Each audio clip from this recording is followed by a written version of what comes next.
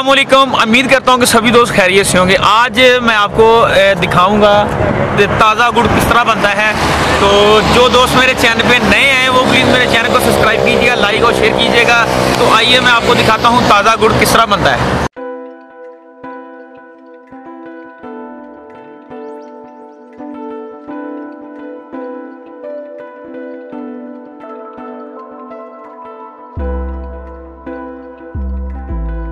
یہ ہے گنے۔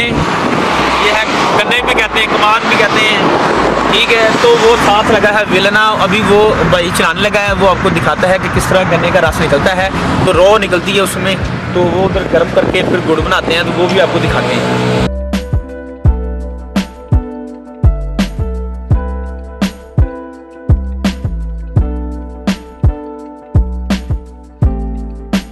دوستو یہ ہے انجن اور اس کے ساتھ بیلٹ ہے اور یہ ہے ویلنا جس میں گنے ڈال کے رس نکالتے ہیں۔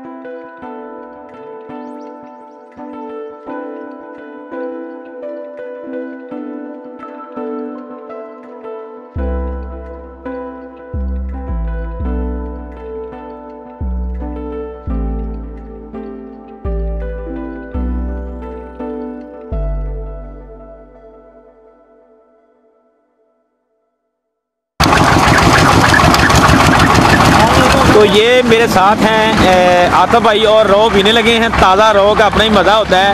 تو یہ فریش ہے تو جیسے کہ یہ گلاس میں ڈالی ہوئی ہے اور یہ دیکھو، پی رہا ہے۔ واہ واہ واہ۔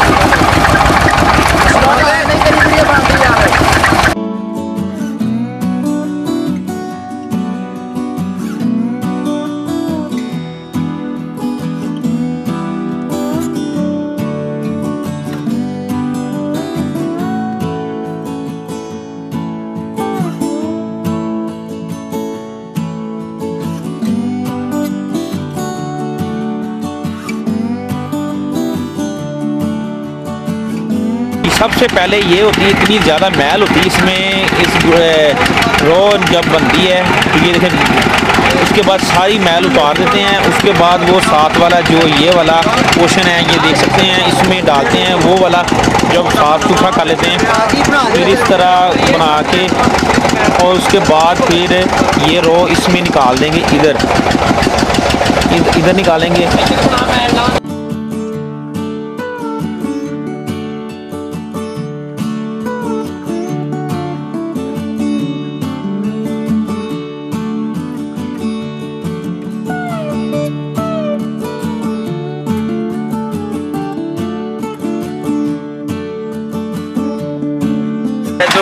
جو وہ پہلے اس میں ڈالتے ہیں، یہ کڑاہی میں، اور اس کے اوپر بہت زیادہ میل ہوتی ہے، وہ جیسے کہ اتار رہے ہیں بھائی۔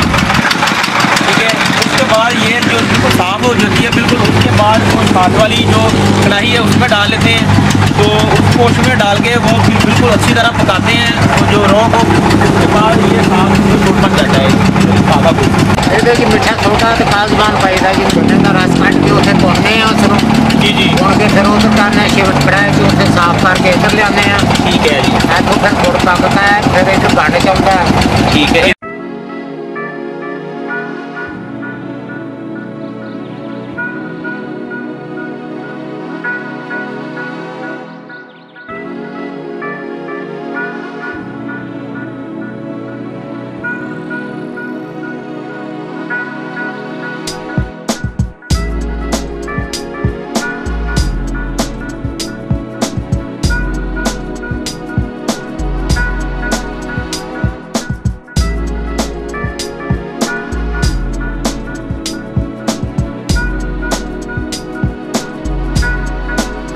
گاڑے چلتا میں رکھیں گے۔ تو اس میں تھوڑا سا ٹھنڈا کر کے، ٹھنڈا کر کے اس کے بعد بنائیں گے پیسیے تو اس کے بعد گڑ مکمل تیار ہو جائے گا۔ تازہ گڑ اور اس کا اپنا ایک مزہ ہوتا ہے۔ تو آپ بھی کھائیں اور آپ کے نزدیک کوئی ویلنا وغیرہ ہے تو تو ہم بھی کھا رہے ہیں جی گڑ۔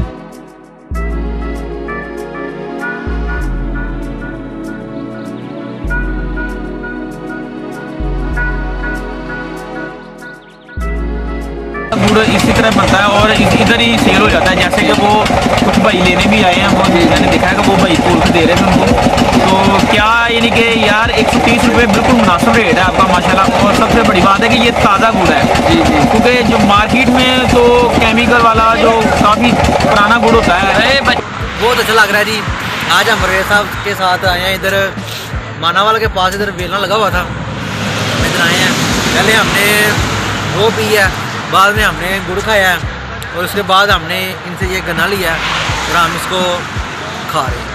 جی ریت بھائی ہمارے ساتھ ہیں۔ تو آپ چینل کو سبسکرائب کریں اور لائک کمنٹ کریں اور دعا میں یاد رکھیں۔